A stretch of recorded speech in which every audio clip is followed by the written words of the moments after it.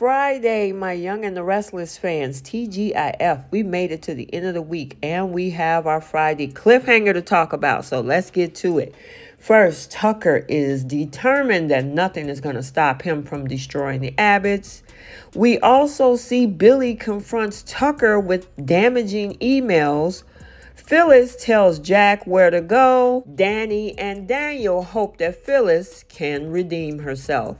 Welcome back to CBS Soap Dish Recap, where we recap everything CBS Soaps, both the young and the restless, and the bold and the beautiful. This is your Young and the Restless recap for September 29th. And without any further ado, let's talk about this episode. So, we start out this episode over at Jabot where we see a conversation happening where Jack is talking to Billy and Diane, who seem both concerned. Diane expresses her worries about the accounts, suspecting Phyllis's involvement. Now, Billy tells Jack about his suspicions that Phyllis might just be working with Tucker to undermine them. Jack wonders why only Billy is being targeted, but Billy suggests it's because he's afraid that he might revert to his old ways.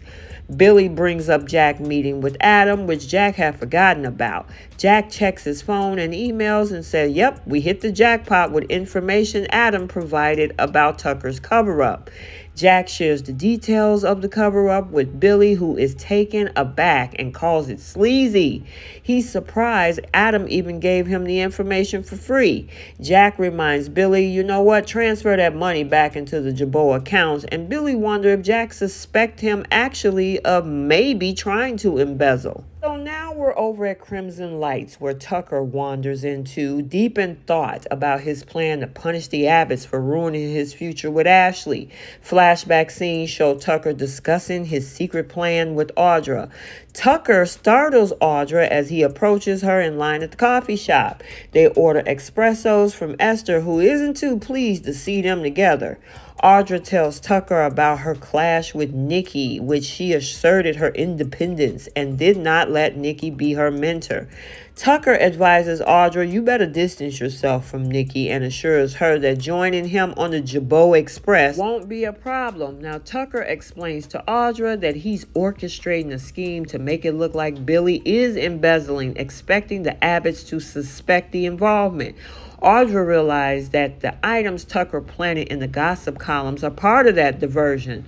Tucker expresses his determination to take away everything valuable from the Abbott since they cost him his relationship with Ashley.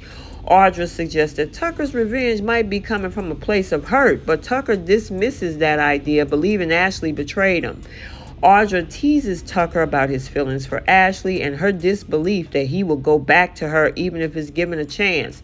Tucker remained resolute in his mission to dismantle the Abbotts, declaring that nothing is going to stop him. Well, now we're over at the Jazz Lounge where Danny sits down at the bar with Phyllis and they engage in this awkward small talk. Now, Danny is surprised to see Phyllis even alive, recalling her death the last time they were in that room. Phyllis, of course, blames blames it all on Stark.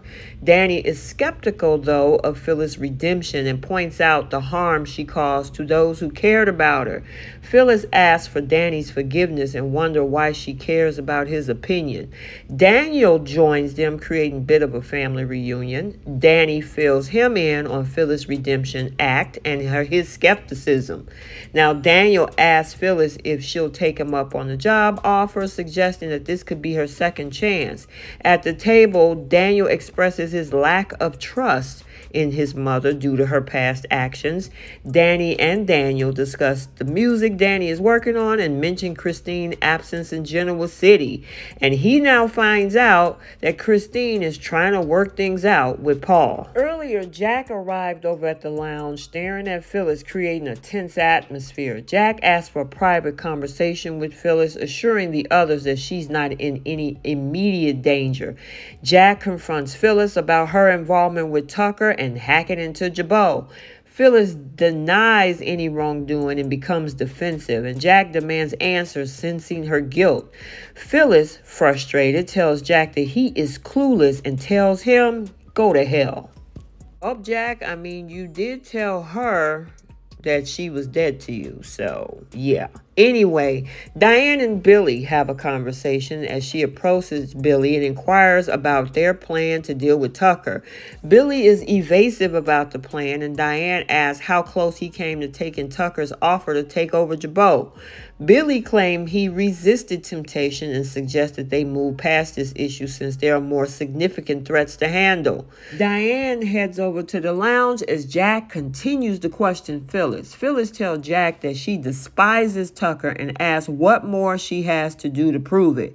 Jack challenges Phyllis to prove her commitment by hacking into McCall's system now. And finally, we have this confrontation between Billy and Tucker. Tucker returns to his suite and is confronted by Billy, who reveals that he knows about the cover up and has incriminating emails.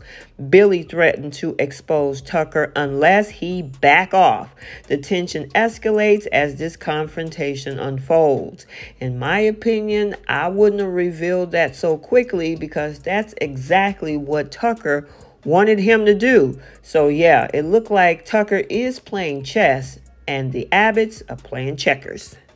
Okay, so there you have it, your Young and the Restless recap for Friday, September 29th, 2023. Stay tuned for the Bold and the Beautiful recap also for today. And until the next episode, like, comment, and subscribe, and we will see you next time. Bye.